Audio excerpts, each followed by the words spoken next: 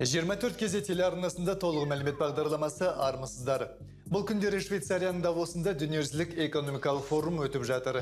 Бұл шараға әлемнің әр қиырынан екі жарым мыңда саясаткер мен кәсіпкер келеді. Форумға қатысушылар ғаламдық энергетикалық қауіпсіздік және ғаламдық даму, инновацияның ықпалы, сондай-ақ жастар арасындағы жұмыссыздықпен күрес және БРИКС мемлекеттерінің экономикасын дамыту мәселелері талқыланады деп жоспарланған.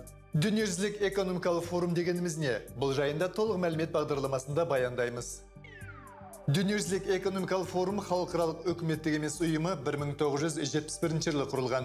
Сол кезде Женевада симпозиум өтіп, отырысқа еуропалық ірі компаниялардың 400-ден астам жетекшісі жиналған.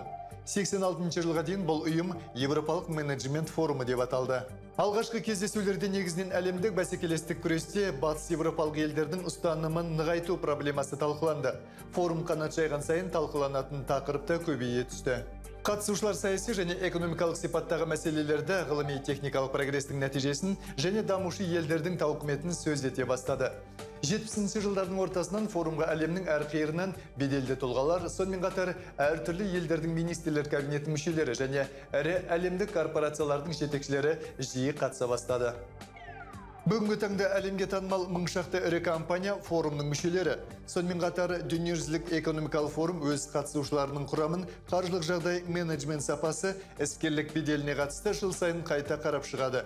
Жалпы алғанда форумның қатысушыларының айналымында 5 миллиард доллардан астам қаржы болуы тиіс. Дүниежүзілік экономикалық форумның негізін қалаушы Женева университеті бизнес әкімшілігінің профессоры Клаус Шваб. Айтпақшы форумның тұрақты президенті де сол. Жыл сайын қаңтардың соңы ақпанның басында өтетін Давостағы кездесу дүниежүзілік экономикалық форумның басты оқиғасы саналады бір рет қана 2002 жылы аталған шара Нью-Йоркте өтті. Ол кезде бұл шара бұған дейін бірнеше ай бұрын дүниежүзілік сауда орталығына жасалған лаңкестік шабуылдан қатты соққы алған Құрама Штаттармен ынтымақтастығының белгісі ретінде ұйымдастырылды. Форум өтетін Давос қаласы Швейцарияның шығысында Граубюнден кантонында бір жарым метр биіктікте орналасқан. Бұл жерде көбінесе күн ашық болады және жел тұрмайды. Давоста қыш жылы жаз салқын. 13 мың халқы бар қалашықта шипажай, пансионаттар, қонақ үйлер, театрлар, концерт залдары, сонымен қатар медицина және биіктаулы климаты институты жұмыс істейді.